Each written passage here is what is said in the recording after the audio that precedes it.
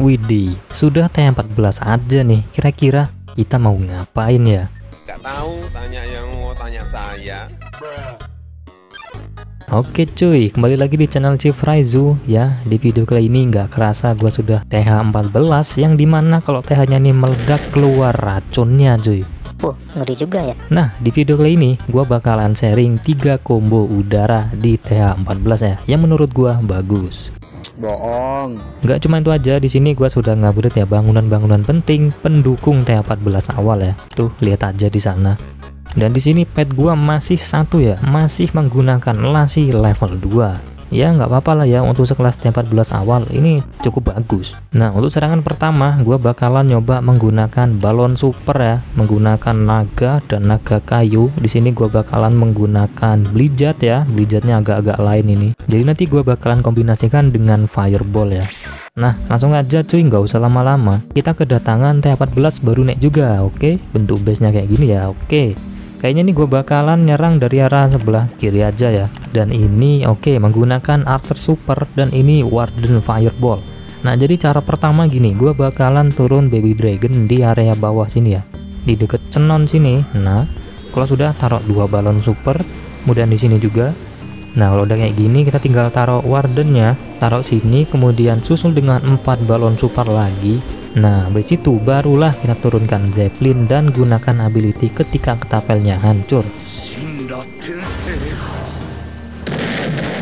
Wow. Oke, kalau sudah kayak gini, gua bakalan turunin Zeppelinnya di bagian CC ya. Ini kena tips sekali nggak apa-apa. Ini kita langsung aja turunkan Invis, bongkar, dan turunkan spell cloningnya. Di situ Rage dan Invis ya. Kayak biasanya kita bermain Blizzard, kalau sudah tinggal turunkan sisa-sisa spellnya kayak gini. Habis itu ya udah kita bakalan mendapatkan hampir setengah base nya ya. Ini value nya lumayan banyak juga ya ternyata ya untuk super archer. Dan kita taruh lagi satu di bagian sini habis itu ya udah deh kita tinggal bermain sui hero di sana. Loh wardennya masih hidup ya? Kalau wardennya masih hidup berarti gua bakalan taruh sui hero nya di bagian sini ya. Gua bakalan motong jalurnya si naga ya jadi nanti wardennya tuh bakalan ngikut sama pasukan naganya ya.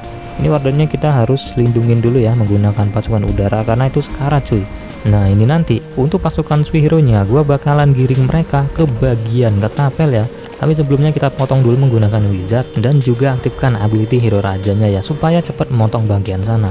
Bagian sana gue gagal jebol temboknya karena menggunakan WB biasa ya. Kalau sudah di sana ada royal championnya untuk mengambil ketapel. Dan kalau sudah kayak gini ya udah cuy ini biasanya bakalan rata ya karena value dan jalannya itu sudah sangat-sangat bagus. Widih, ngeri kali ya.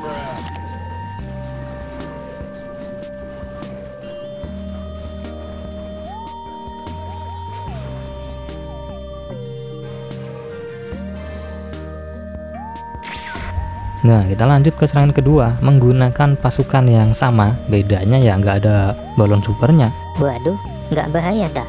nggak juga sih soalnya ini kan versi yang basicnya. Kalau yang serangan pertama tadi itu baru bahaya. Waduh, Oke sudah gua putuskan gua bakalan turun dari arah sini aja. Pertama turunkan lava kemudian tiga balon tiga balon. Jangan lupa juga turunkan zeppelin kalian menuju bagian TH ini nanti kena tips sekali nggak apa-apa yang penting zeppelinnya tuh bisa selamat sampai tujuan kalau nggak selamat gimana bang? ya bahaya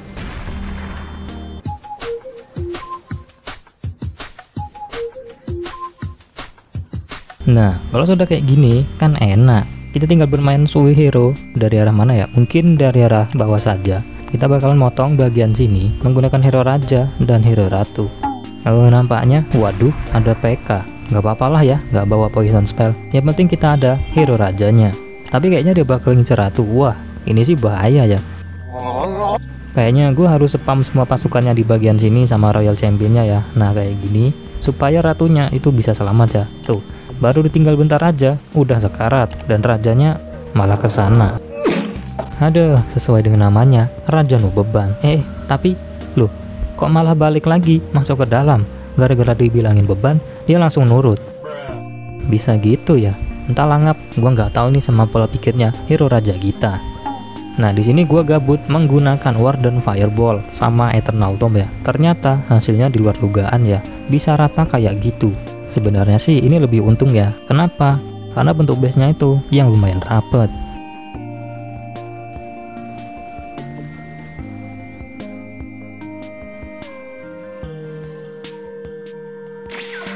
Nah ini nih yang kalian tunggu-tunggu. Gua bakalan bermain Quinzas Lalun di TH14 baru naik. Kira-kira sebeban apakah gua bermain Lalun? Ayo langsung aja kita coba. Pertama, gue bakal ngorbanin hook dulu di bagian kanan sini ya. Gunanya adalah untuk mendeteksi jebakan darat. Siapa tahu kan ada skeleton. Kalau sudah tinggal taruh mesin, kita tinggal kita bermain queen jazz dari arah bawah sini. Nah, jangan lupa juga kalian turunkan balon, barulah turun healernya. Jangan kebalik ya, soalnya kalau kita nggak naruh balon duluan, kita nggak tahu tuh jebakannya ada di mana. Waduh, baru juga dibilangin, udah muncul duluan. Nah, kalau sudah kayak gini gue bakalan taruh aja WB supaya ratunya tuh bisa menguasai base bagian sini ya. Jadi intinya si ratu tuh harus menguasai base bagian sini. Nanti tuh gue bakalan taruh jam spellnya di bagian sana. Di sini kalian gak perlu panik karena kita menggunakan Frozen Arrow. Tuh, liatin, Inferno-nya aja langsung gak berkutik karena kedinginan, kegirangan. Bahkan sekelas ketapel level 3 sekalipun ikut dingin, kegirangan. Ternyata efeknya GG juga ya bang di TA tinggi. Wow, tentu saja. Nah, karena bagian sini tuh lama, jadinya tak cepetin aja. Nah, kalau sudah sampai sini, jangan lupa dengan hero rajanya. Karena tugas seorang raja adalah untuk membacok-bacok hero lawan. Bagian sini kita jangan lupa kasih es ya, karena hero ratunya tuh sangat bahaya dan di sana di ability saja. Habis itu ya udah tinggalin aja. Terserah rajanya mau turu, ya penting ratu kita bisa mendapatkan bagian TH. Waduh, bagian sini kayaknya agak bahaya ya. Ratunya tuh ability dan juga malah nagetin si skeleton. Nah, kalau sudah kayak gini kita harus menurunkan lavanya ya, supaya si eagle-nya narjetin si lava. Nah, kayak gini contohnya. Nah, kita lihat bagian sebelah kanan, itu sudah kopong ya, solo dengan flame flinger. Kalau udah kayak gini nih, sudah saatnya kita langsung bantai.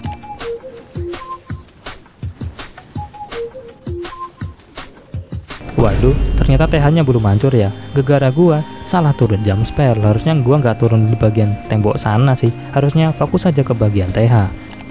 Ya, awas jatuh.